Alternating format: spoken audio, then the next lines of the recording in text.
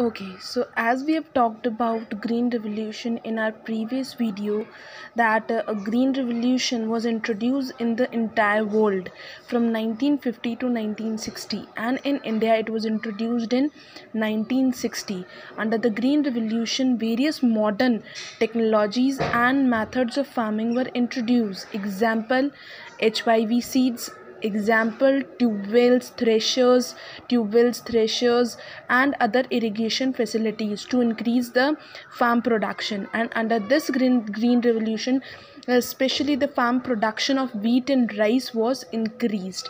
And where it increased? In punjab and haryana. How much farm production was increased in comparison to earlier time? 2.5 times it was increased. Now we are going to talk about the drawback or the demerits of this green revolution, क्या क्या नुकसान थे इस green revolution के, या फिर क्या नुकसान थे एच वाई वी सीड्स के स्पेशली जो एच वाई वी सीड्स था, उसने फार्म प्रोडक्शन तो बढ़ाया बट एक्चुअली में जो एच वाई वी सीड्स थे, उनको वाटर पेस्टिसाइड्स और फर्टिलाइज़र्स की in comparison to other method ज़्यादा ज़रूरत थी। तो मतलब कि अगर एच वाई वी सीड्स आप यूज़ कर, करोगे तो आप सिर्फ़ उस जगह पे यूज़ कर सकते हो जहाँ पर water pesticides and chemical fertilizers की अवेलेबिलिटी ज़्यादा हो। या फिर वो फार्मर्स सिर्फ़ यूज़ कर सकते हैं जो कि इन पेस्टिसाइड्स फर्टिलाइज़र्स और वाटर को अफोर्ड कर सकते हों उतने अमाउंट में। दूसरा था अगर आप ज़्यादा अमाउंट में, मान लो किसी फार्मर ने अफोर्ड कर भी लिया तो अगर ज़्यादा अमाउंट में आप फर्टिलाइज़र्स को यूज़ करते हो तो वो रिज़ल्ट कर सकते हैं in decline of soil fertility आपको बहुत अच्छे से पता है कि काउ डंक और केमिकल फर्टिलाइज़र में क्या डिफरेंस है। Cow dung is a natural kind of manure which increases the fertility of the soil naturally but chemical fertilizers जो होती हैं, वो एक टाइम के बाद में जो केमिकल फर्टिलाइज़र डिज़ीज़ होते हैं, वो क्या होते हैं? नुकसानदायक होते हैं। ज़्यादा यूज़ करना मतलब सॉइल जो है वो केमिकली क्या हो जाएगी? रूइन हो जाएगी। इस वजह से तरीके से जो सॉइल की फर्टिलिटी है, वो डिक्लाइन हो जाती है on increasing use of chemical fertilizers which is a drawback of green revolution tube well irrigation has reduced the water table below the ground.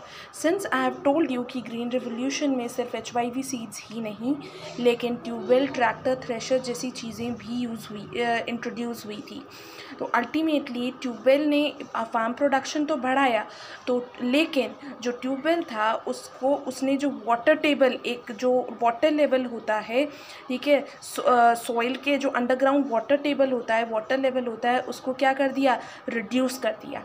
तो ये इसके कुछ हार्मफुल इफ़ेक्ट्स हैं, या कुछ ड्रॉबैक्स हैं, या फिर कुछ डीमेरिट्स हैं किसके? ग्रीन रिवोल्यूशन के। इज़ इट क्लियर नेक्स्ट आता है आपका topic types of farmers How many types of farmers are found in India on the basis of land distribution land के डिस्ट्रीब्यूशन के बेसिस पे इंडिया में कितने टाइप्स ऑफ फार्मर्स प्रेजेंट हैं सबसे पहली बात ये बताने से पहले I would like to give you a general information that who is the biggest farmer of India Kushal Pal Singh is considered as the biggest farmer of India. He is the chairman and the CEO at DLF Limited, which is a real estate. Now we'll talk about the types of farmers. Types of farmers on the basis of distribution of land. मतलब कि जो land है India में, जिस तरीके से distributed है among the various farmers उस बेसिस पर कितने टाइप्स ऑफ़ फार्मर्स प्रेजेंट हैं इंडिया के अंदर मतलब कितनी कैटेगरीज हैं फार्मर्स की इंडिया में सबसे पहले आते हैं आपके लार्ज फार्मर्स लार्ज फार्मर्स जो हैं, उनके पास में अगर कौन होते हैं वैसे लार्ज फार्मर्स अगर चार हेक्टेयर फोर हेक्टेयर से ऊपर अगर किसी के पास में लैंड होती है तो हम उन्हें क्या कहते हैं? लार्ज फार्मर्स मीडियम फार्मर्स का मतलब अगर दो से चार हेक्टेयर के बीच में किसी फार्मर के पास में लैंड है तो उसे हम क्या कहते हैं? मीडियम फार्मर्स मीडियम फार्मर्स सबसे पहली बात हेक्टेयर क्या होते हैं? हेक्टेयर एक यूनिट होती है जिसके टर्म्स में लैंड को मेजर किया जाता है. फॉर एग्ज़ाम्पल जिस तरीके से हम लिक्विड मटीरियल को किस यूनिट में मेजर करते हैं, कि कि किलो लीटर्स के अंदर, उसी तरीके से जो लैंड है, उसको हम किसमें मेजर करते हैं? हेक्टेयर्स में। किसमें मेजर करते हैं? हेक्टेयर्स में।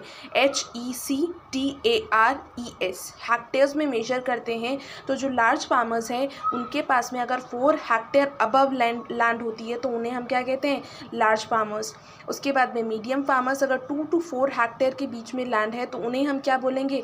मीडियम फार्मर्स उसके बाद में आते हैं आपके small farmers around seventy eight percent of India की जो पॉपुलेशन है स्पेशली जो फार्म फ़ार्मिंग पॉपुलेशन है, उसमें सेवेंटी एट परसेंट जो पॉपुलेशन है वो किन की होती है? स्मॉल फार्मर्स स्मॉल फार्मर्स को और, और क्या बोला जाता है?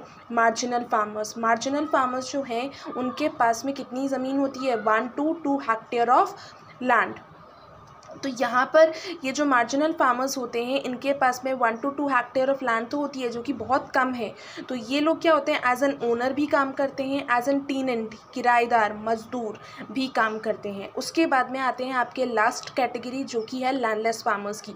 मतलब कि ऐसे फार्मर्स जिनके पास में बिल्कुल ज़मीन नहीं है, वो दूसरों की ज़मीनों पर काम करके क्या करते हैं खेती बाड़ी करते हैं, दूसरों की ज़मीन पर किराए पर ज़मीन लेते हैं, उसके, उससे काम करते हैं। तो उन्हें हम क्या बोलते हैं लैंडलेस फार्मर्स बिल्कुल भी ज़मीन ना होना। इज़ इट क्लियर तो यहाँ पर सबसे पहले landless farmer small farmer medium farmer large farmer large farmers के पास में कितनी लैंड है? फोर हैक्टेयर से अबव मीडियम फार्मर्स के पास में two to four hectare small farmers के पास में या फिर जिनको मार्जिनल फार्मर भी कहा जाता है, इनके पास में one to two hectare of land होती है और फोर्थ होते हैं लैंडलेस फार्मर जिनके पास में बिल्कुल भी ज़मीन नहीं है।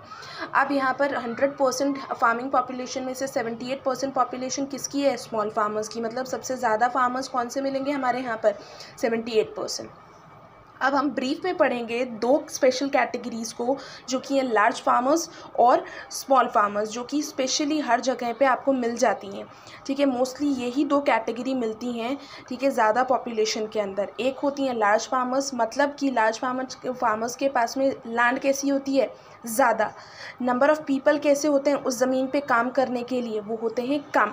इसीलिए इनको क्या करना पड़ता है? अपने प्रोडक्शन को बढ़ाने के लिए इनको क्या चाहिए? ज़्यादा लेबर चाहिए। अब जिन, जिनके पास ज़मीन ज़्यादा है, ठीक है, जिनके पास ज़मीन ज़्यादा है, पैसा ज़्यादा है, लेकिन लोग कम है काम करने के लिए, वो क्या चाहते हैं? लोग चाहते हैं। वो क्या चाहते हैं? लेबर चाहते हैं। इसीलिए अपना प्रोडक्शन बढ़ाने के लिए वो किसकी सर्च में रहते हैं? लेबर की सर्च में रहते हैं। वहीं पर small farmers are just opposite to the large farmers इनके पास में ज़मीनें होती हैं कम, लेकिन लोग काम करने के लिए क्या होते हैं? ज़्यादा। मतलब नंबर ऑफ़ लेबर्स क्या होते हैं? ज़्यादा होते हैं लैंड होती है कम। इनको क्या चाहिए? लैंड चाहिए काम करने के लिए। इसीलिए ये अपना फार्म प्रोडक्शन बढ़ाने के लिए या इनकम बढ़ाने के लिए ये लोग क्या करेंगे? जॉब करेंगे। कहाँ जॉब करेंगे?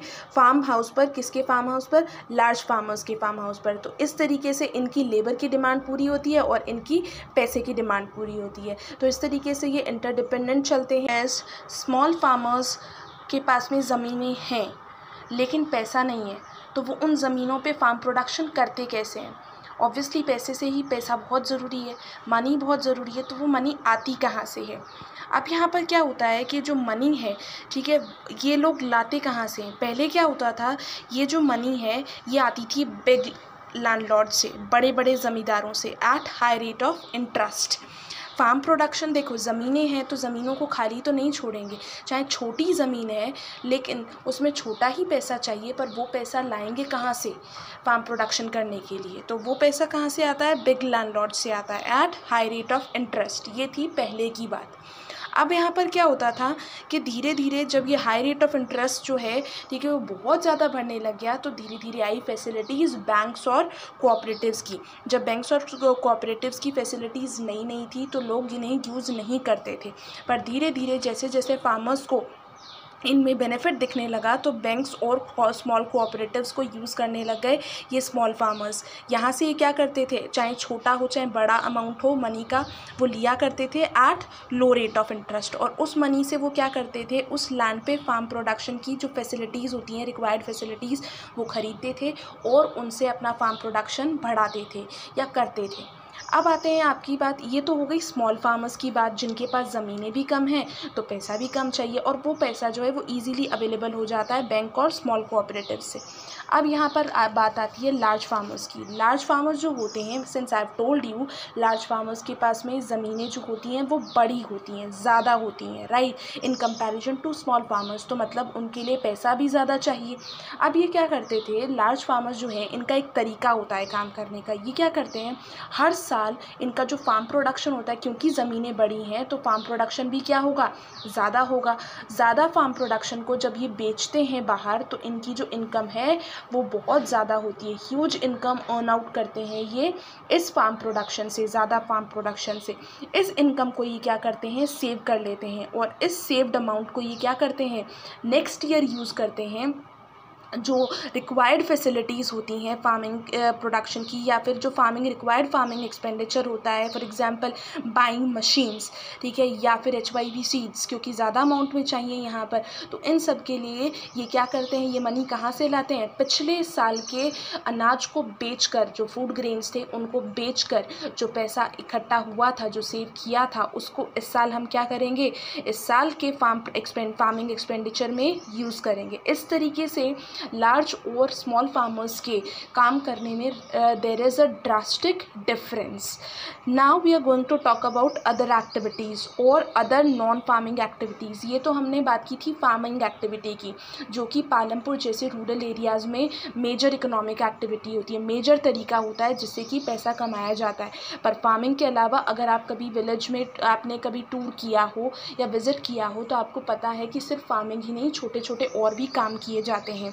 तो उन्हें हम क्या बोलते हैं? Other non farming activities in the rural area in rural areas ठीक है? But since we are talking about Palampur over here so we'll use the term Palampur अब यहाँ पर जो एक सबसे इंपॉर्टेंट चीज़ है, वो ये है कि अगर फ़ार्मिंग के बाद में खेती बाड़ी के बाद में अगर सेकेंडरी इकोनॉमिक एक्टिविटी कोई है, अगर सेकेंड नंबर पे कोई मेजर इकोनॉमिक एक्टिविटी आती है तो वो कौन सी है? डेयरी ठीक है? जो भी जो दूध से रिलेटेड प्रोडक्ट्स होते हैं, जो बनते हैं, ठीक है? जो बेचे जाते हैं, वो कहाँ से आते हैं? आपके रूरल एरियाज़ से आते हैं। तो फ़ार्मिंग के बाद में जो हाइएस्ट जो मेजर इकोनॉमिक एक्टिविटी है रूरल एरियाज़ में, वो क्या होती है? डेयरी होती है। उसके बाद में आती हैं आपकी की शॉपकीपर्स ट्रांसपोर्ट जैसी चीज़ें, आपको बहुत अच्छे से पता होगा कि बहुत सारे ऐसे फार्मर्स या फिर जो फार्मर्स नहीं हैं, वो लोग भी अपने छोटे छोटे शॉप शॉप्स खोल के बैठ जाते हैं या फिर छोटे छोटे ट्रांसपोर्ट ख़रीद लेते हैं और उससे वो क्या करते हैं ट्रांसपोर्ट करते हैं सामान को। ठीक है? तो ये लोग क्या करते हैं ट्रांसपोर्ट शॉपकीपर्स और स्मॉल स्केल मैन्युफैक्चरिंग इंडस्ट्रीज़ छोटी छोटी इंडस्ट्रीज़ या फैक्ट्रीज़ या फिर छोटे छोटे अपने बिज़नेस खोले हुए हैं, जिस तरीके से वो क्या करते हैं, पैसा कमाते हैं। तो non farming act activity concurrency हुई dairy small scale industry shopkeepers and transporting system. Now one of the very important thing which i would like to discuss over here at the last of this video or the last of the chapter is the palampur village. This palampur village is not a real village. This is just an imaginary village.